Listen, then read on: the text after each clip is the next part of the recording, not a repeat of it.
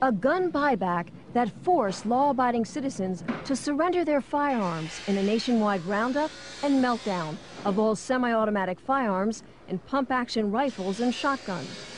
640,000 ordinary conventional firearms confiscated and destroyed. It was an absolute joke and a tragedy. I actually turned in um, uh, three firearms um, and it, look, it, it, broke my heart. I mean, it was 40 years of collecting um, and I, I, can't say it any other way than that. I felt sick. Um, I had to hand them in because if I didn't, I was going to jail. There's, there's no ifs or buts about that. By taking that gun away from me, um, they've stolen something from me. A right stolen by their government, promising safety in return for its gun bans. But now citizens know the frightening truth. The cost of lost liberty can be measured in the loss of life.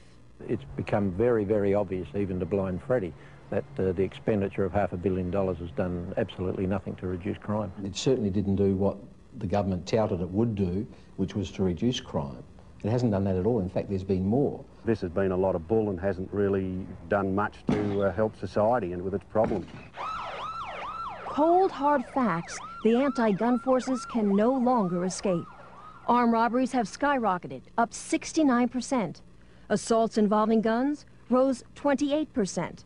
Gun murders increased 19%. And a new phenomenon, home invasions jumped 21%.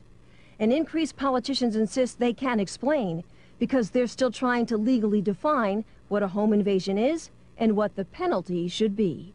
Part of the difficulty is that there is no uh, clear uh, definition of home invasion in the law. Never cease to be amazed at the ingenuity of lawyers. If the politicians want a pay rise, boom, that's done in 20 minutes. But to define home invasion, what a joke. I have no trouble at all in defining what a home invasion is. I think if someone sets their foot inside your door uninvited, they are invading your home and your privacy. And victims who have survived home invasions don't need a definition. They've lived through hours of terror. Arthur Field was tied up, his hands and feet taped, his phone lines cut, while two robbers ransacked his house.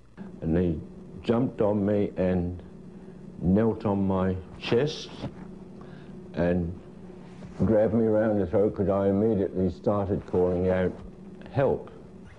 I don't know how, how many men, they start smashing the windows. There was a lot of glass shattering, a lot of noise outside, and I stood in the kitchen, I was trembling. The Zawadzkis remember thugs running through their home, demanding money, and threatening to kill them. Mr. Zawadzki says if he had a firearm, the suspects never would have gotten away. Do you will stand you know, waiting till you get killed? Or you will defend yourself? Tell me true, you will defend yourself. Scars that never heal citizens left powerless. But it's criminals who have been empowered and emboldened by the new gun laws because the innocent can't fight back. What's happening today is that the offender, the bad guys, are happy to break into somebody's house. They're not frightened to break into somebody's house while they're at home.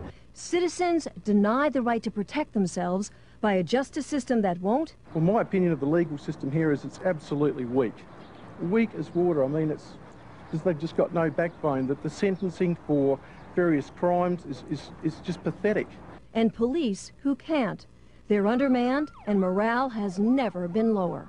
It's very bad at the moment. It's never been worse. Since 1993, we've had a, a, real decrease in over 230 sworn police officers in this state. These policemen have joined the job, police women have joined the job to go out and do it, and uh, they can't even attend it at breaks or, or assaults because there's no vehicle to even get them there. I mean, that's just absolutely ridiculous. Gun laws that have backfired. And Australians who have been forced to hide behind bars and deadbolts. Some are even installing extensive security systems. because the firearms they still own that haven't been banned have to be locked up, unloaded, and unavailable. I mean, get real. If I have someone break in here, I've got to go get the bolt, get the rifle, find the ammunition somewhere else, put it all together, and then defend myself if this other person's got a firearm that's going to threaten my life. No way. It doesn't bloody add up. A political fraud, gun bans that haven't made a difference, and gun owners now struggling to stop a growing momentum against them. The people pushing the removal of guns from the Australian uh, society are already saying that's only the first step, publicly, that's only the first step.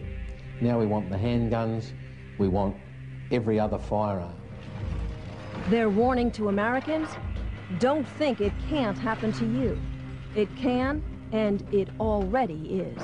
Unless you, as a firearms owner, get off your butt now and start to oppose those that want to take them off of you right here and now, I would say that within five to ten years, the, uh, the restrictions on gun owners in America will be similar to what happens in Australia. Don't trust your politicians. Get in there, keep on their backs. Be a member of the NRA, be a member of your local gun club. Be part of the NRA and never, ever, ever give up your freedoms because that's, in the, in the end, that's all you've got. If you think you have rights, tomorrow the government can take them away from you. I think the Americans have to be very, very careful because, you know, their rights will be quickly eroded as ours have, and we don't have a chance in hell of getting those rights back.